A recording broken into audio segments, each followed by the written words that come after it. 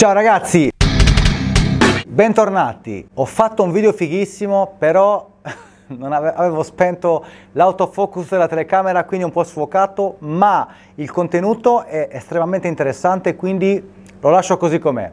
Buona visione! Oggi parleremo di 10 cose che richiedono zero talento, che possono fare una grande differenza nella vostra vita da musicisti e nella vostra vita in generale. Mi chiamo Raffaele Saini, sono alla batteria da 24 anni, ho fatto tour in Europa, Stati Uniti, Giappone, Brasile ed ho suonato con tante band, band sconosciute, band più conosciute e band molto conosciute. In questo video voglio parlarvi di 10 trucchi, 10 segreti, visto che questa parola piace tanto su YouTube, per cambiare la vostra vita batteristica e la vostra vita musicale da subito. Premetto che questa lista non l'ho fatta io, la lista si chiama 10 Things That Require Zero Talent ed è molto interessante perché si parla molto di talento, no? Ah, quel tipo ha talento, io non ce l'ho, io quindi non ho talento e non posso fare niente. Lasciate che vi dica una cosa, quando ero ragazzino, io di gente col talento ne ho visto veramente tanta. Io ho visto anche tanta gente che ha buttato il talento al cesso e ha tirato la catena. Apro una parentesi e la chiudo uh, al volo. Vi consiglio questo libro.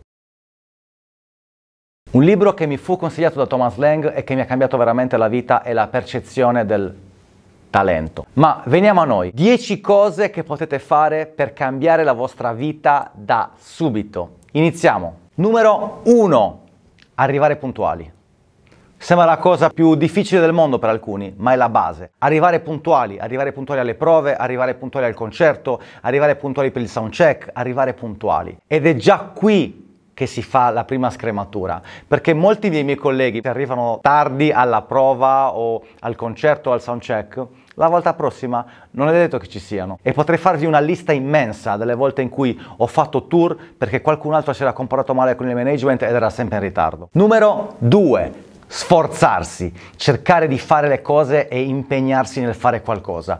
Anche questo richiede zero talento e fa ancora una volta una grossa differenza. Molto spesso le persone che non sono riuscite a, ad andare avanti, o meglio, a usare il loro talento o le loro capacità, ammesso che talento esista, è perché non si sforzano. Impegnati, hai le prove, arriva preparato, sforzati di fare le canzoni al meglio, impegnati quando studi, impegnati quando fai le prove, impegnati quando fai il concerto. Impegnati, questa è la seconda regola. E per impegnarsi, ragazzi, è richiesto zero talento. Numero 3, being high energy essere una persona energetica, avere voglia di fare, essere una persona propositiva, una persona che arriva e fa la differenza. Anche qua, talento richiesto, zero. Cercate di avere energia, energia positiva, essere una persona che quando arriva rende l'ambiente migliore. Numero 4, che è simile alla 3, è avere un atteggiamento positivo. Potrei farvi una lista, anzi un, potrei scrivere tipo un'enciclopedia con tutti i casini che abbiamo avuto in tour, ma io sono una persona positiva, ossia male che vada, stiamo facendo un concerto, siamo qua insieme, male che vada ci divertiamo. Un atteggiamento positivo. Nessuno vuole avere nella band una persona che sta costantemente a rompere i Ah, non va bene quello, l'acustica è brutta, il seggiolino non funziona, la chitarra è troppo chitarra, il basso è troppo basso. Nessuno vuole quel tipo di persona. 5. Essere una persona appassionata, avere entusiasmo. Questo fa la differenza. Uno che arriva e vuole fare le cose. Ragazzi, c'è da, c'è da preparare queste quattro canzoni. Sì, lo facciamo, c'è da fare questo, si fa ed è questa che fa la differenza. Ok? Una persona che ha voglia di fare, una persona appassionata. Cito il mio grande amico Federico, fonico, con cui ho lavorato nel tour dei Visions of Atlantis Vexillum. Federico era uno che mi disse una delle frasi che mi, mi ha colpito di più. A fine serata stavamo caricando e scaricando il furgone dopo il concerto, anzi stavamo caricando, che è un rompimento di c***o doppio, e gli ho fatto una battuta. Federico, ma a te ti piace scaricare il furgone? Lui, no, a me scaricare il furgone mi fa c***o, ma visto che questa cosa va fatta, tanto vale farla bene. E mi ha sorriso. Questa è la differenza. 6 è using good body language, sorridere, stringere la mano, quindi essere gentile, ok, se qualcuno sta in confidenza, un abbraccio, sorriso, non costa niente e fa tanto la differenza. Così come una stretta di mano, ok, potrei farvi la lista anche qua dei che ho conosciuto che si comportano in maniera allucinante, fanno un tour e generalmente nel tour dopo non ci sono e sono a casa a lamentarsi che ah, quel tipo lì che è più scarso di me ha preso il lavoro. Semplice amico mio, nessuno ti vuole mezzo 7. Being coachable, ossia essere una persona disposta a voler imparare. Se qualcuno ti insegna qualcosa, ascoltalo, impara. Se spesso e volentieri questa fa la differenza tra uno che cresce costantemente e uno che è fermo. Non costa nulla, non richiede talento essere disposti ad ascoltare e imparare, non richiede nessun talento. 8. Fare un po' di più del richiesto. Non tanto, quel po' di più che fa la differenza tra uno che fa i compiti per casa e uno che si impegna. E questo lo stesso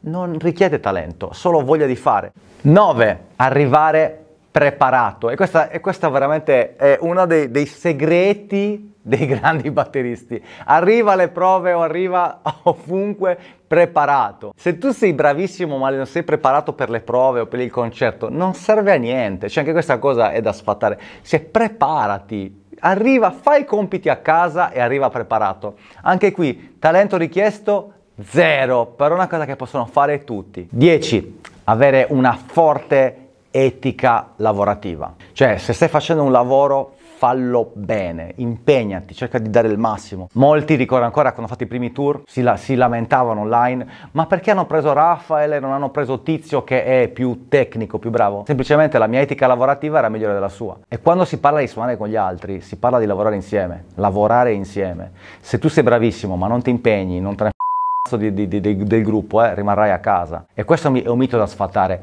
Non basta essere bravi. E il talento vale zero se becchi una persona con meno talento ma che si impegna 40.000 volte più di te. Quindi questo vuole essere anche un, uh, un, messaggio positivo perché io non mi ritengo una persona con talento, nessuno. Ho fatto oltre 25 tour europei, due tour in Giappone, Stati Uniti, ho girato il mondo. La musica è la mia vita, la batteria è la mia vita. Non ritengo di avere talento. Io sono solo una persona che si è impegnata e si impegna tutti i giorni e ogni giorno ha una forte etica lavorativa ed è una cosa che non richiede talento. Mi piace, lo, lo faccio e soprattutto non voglio tornare a lavorare in magazzino.